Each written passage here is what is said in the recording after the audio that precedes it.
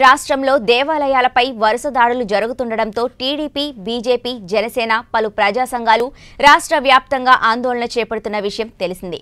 ఓ పక్క రామతీర్థం ఘటనపై ఆందోళన జరుగుతుంటే మరో పక్క వినాయకుని విగ్రహానికి చేతులు తొలగించిన సంఘటన విశాఖ జిల్లాలో చోటు చేసుకుంది. విశాఖ జిల్లా గోలుగొండ మండలం ఏటిగైరంపేటలో రాములవారి గుడిలో ఉన్న వినాయకుడి విగ్రహం చేతులను గుర్తు తెలియని వ్యక్తులు ధ్వంసం చేశారు. దీనిపై స్థానికులు పోలీసులకు సమాచారం అందించడంతో రూరల్ సీఐ శ్రీనివాస్ సంఘటనా స్థలానికి చేరుకుని పరిస్థితిని పరిశీలించారు. అనంతరం వారు మీడియాతో మాట్లాడారు.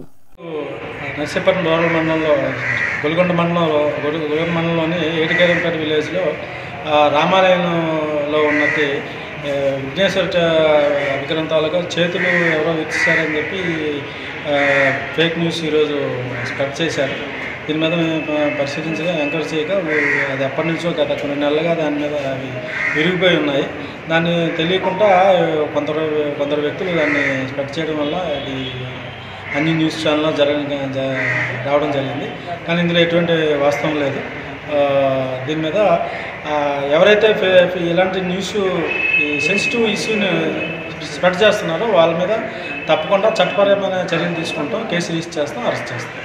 ఇంకా ఫ్యూచర్లో ఇలాంటివి ఎప్పుడు కూడా ఎట్లాంటి చేయకుండా నిర్ది- నిర్వహణ ఇలాగ చట్టపరమైన చర్యలు